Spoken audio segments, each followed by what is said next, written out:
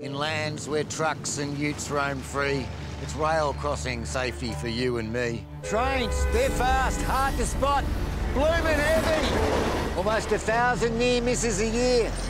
That's too many. It's no magic potion. Crossing safely is poetry in motion.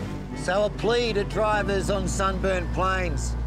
Slow down, look, and listen for trains. Authorised by the Australian Government, Canberra.